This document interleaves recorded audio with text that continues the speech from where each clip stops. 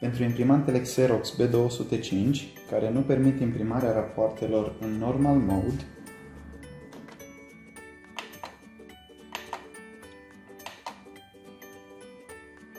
datorită chipului de pe cartuș sau unitate de imagine epuizat, cu contorul Life Remaining pe 0%, vom efectua imprimarea rapoartelor necesare pentru resoftare în Tech Mode. Dacă imprimanta este în standby, click Power button pentru a scoate din standby mode și va trebui să efectuăm rapid următoarea combinație de butoane. Stânga, dreapta, sus, jos, ok, stop clear, stânga. Acum tastare rapidă. Stânga, dreapta, sus, jos, ok, stop clear, stânga. Dacă ecranul imprimantei nu afișează Tech Menu, anulează cu butonul Stop Clear, încearcă din nou și asigură-te că tastezi corect și rapid.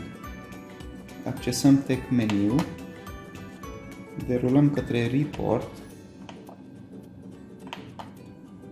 accesăm Supplies Info, Print Yes.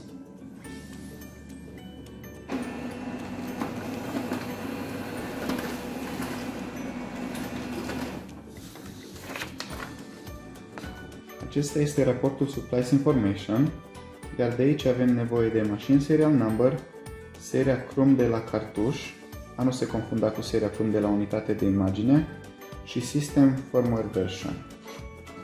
Dacă dețineți un cartuș compatibil care nu afișează seria Chrome sau nu permite imprimarea rapoartelor în Tech Mode, contactați-ne pentru a vă trimite o soluție personalizată detalii despre resoftarea imprimantei sau cum să utilizați cartușul și unitatea de imagine fără a mai fi nevoie de un nou chip, găsiți în linkul din descriere.